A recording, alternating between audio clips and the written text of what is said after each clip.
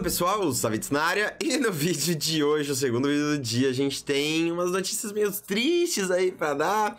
É, algumas coisas mudaram no jogo, algumas coisas que a gente não gostaria de que acontecesse aconteceram. E como é de padrão, toda atualização eles estão mexendo nos acessórios do jogo, tá? E uma coisa que eles mexeram foi na descrição de vários desses acessórios e arrumaram alguns outros que não estavam funcionando tão bem.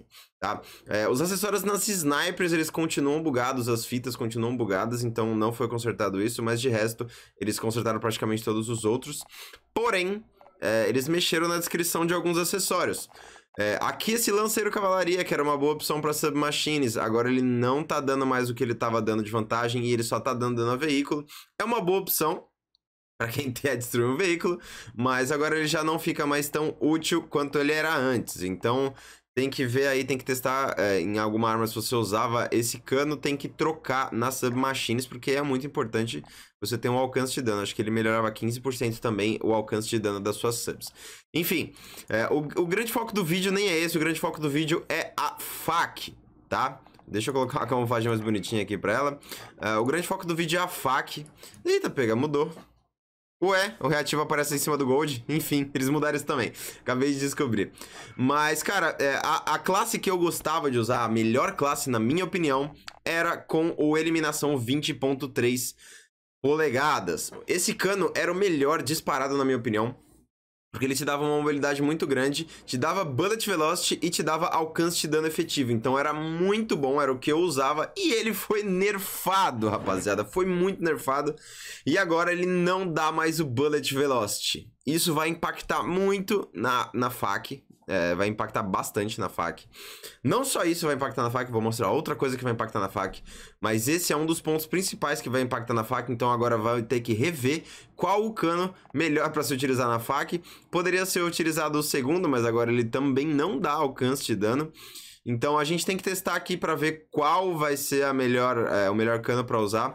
Talvez esse aqui Tá? Talvez esse aqui, eu não sei, eu não realmente não sei. Pode ser que seja esse, pode ser que seja esse, porque Bullet Velocity, velocidade de projéteis, é muito importante, principalmente se você quer combar ela com uma sniper.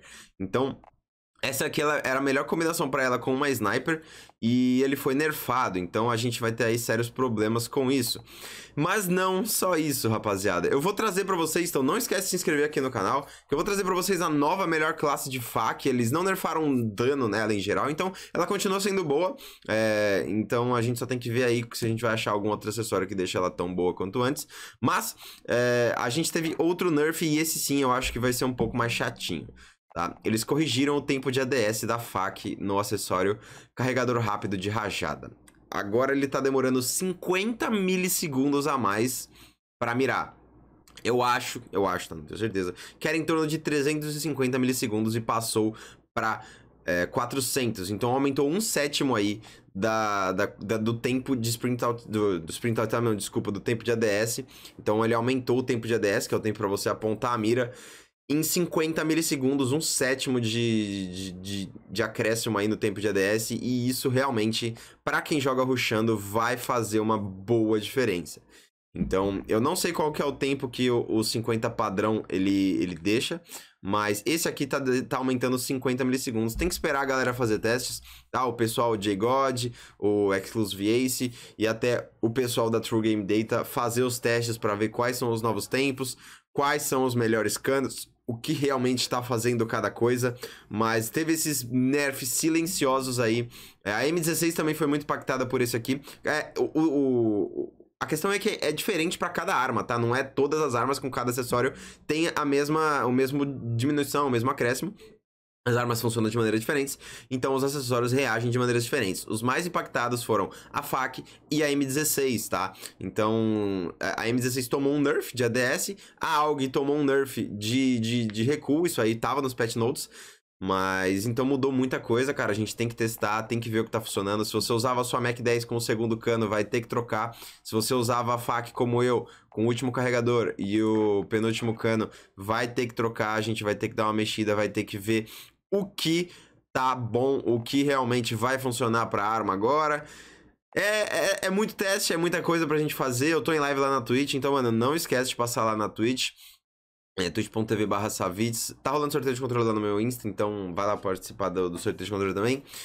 E vamos ver, cara, vamos ver qual arma vai substituir a fac, se a fac vai continuar boa contra os acessórios, mas enfim, foi um nerf aí na fac, a gente esperava vir um nerf, não veio nos patch notes, até me surpreendeu, mas eles realmente nerfaram ela nos acessórios, então é, agora a fac tá um pouco mais lenta, era uma arma muito boa, muito boa de se usar, era praticamente uma submachine, e agora a gente vai ter que testar para ver o que vai funcionar. Então, vamos ver, let's go, vamos testar aí. A gente tá aí para isso.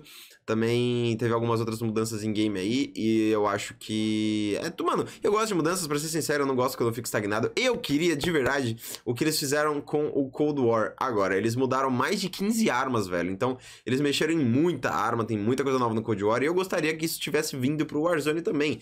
Porque, sinceramente, eu gosto muito do meta mais aberto possível, do meta mais variado possível. Porque é, às vezes cansa de jogar sempre com a mesma arma, então é bom, cara, é bom você dar uma variada.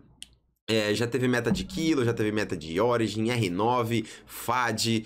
Tirando os metas muito quebrados, os outros metas eram legais, cara. É legal você variar a arma, é legal você. Teve o meta da M4, teve o meta da MP5, teve muitos metas e, e eles vão acabar mexendo nas armas, o que é normal e é aceitável, porque o jogo ele te dá 40, 50, 60, não sei quantas armas são, acho que são 60, 70, sei lá armas para você e a gente acaba jogando sempre com uma ou duas. Então eu gosto dessa mexida, eu gosto dessa, dessa chacoalhada pra gente testar, ter, ter, ter motivação para entrar no jogo e testar novas armas, jogar com novas armas. É, às vezes é a nossa queridinha e ela vai embora, então é triste, mas fazer o que faz parte do jogo. Eu gosto dessa dinamic...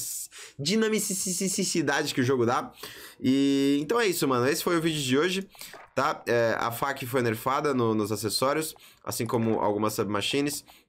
É, as snipers do, do Cold War também não tiveram a fita ajustada. Eu acho que é o único acessório eu acho que tá bugado ainda, as fitas da, das snipers. Mas, enfim. De resto é isso, vamos ver. É, esse aqui era o meu setupzinho da FAC. Eu vou ter que trocar isso aqui. Provavelmente eu vou colocar esse, esse carregador um pouco mais lento. E vou. Eu acho que. Eu acho, tá? Eu não sei, eu não fiz os testes. Mas eu acho que o, o setup vai ficar dessa maneira. Porque eu preciso bastante de, de velocidade de projéteis e, e, alcance, né? Então, é uma coisa que eu vou, eu vou ter que ver, vou ter que esperar o pessoal fazer os testes para ver quanto realmente influencia em cada uma das armas. Mas é isso, mano. A, a AUG mudou, não sabemos se ela mudou o recuo com as empunhaduras, não testaram ainda também, mas aparentemente tá tudo normal com as empunhaduras. Mas vamos ver se ainda vai continuar sendo a melhor empunhadura para usar. Enfim, tem muita coisa pra gente ver.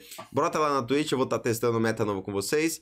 Amanhã tem videozinho sobre movimentação de safes finais. Se não, se não surgir a necessidade de trazer nenhuma outra coisa de FAQ ou, ou AUG, é, eu trago um, um videozinho de movimentação de safes finais. Vou ficando por aqui.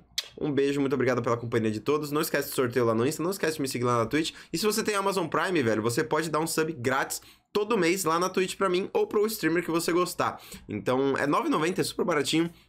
Você tem acesso às vantagens da Amazon, que são os filmes e as séries, e você acaba ajudando a gente de graça todo mês lá. Então, mano, é só brotar lá, que se tiver alguma dúvida, vai lá no chat, as lives rolam de tarde e de noite. Então, vai lá no chat, digita exclamação tutorial Prime, tudo junto, que, que o bot te manda uma mensagem, ou pergunta para algum mod, que eles sempre vão estar dispostos para te ajudar. Fechou? Beijos, valeu!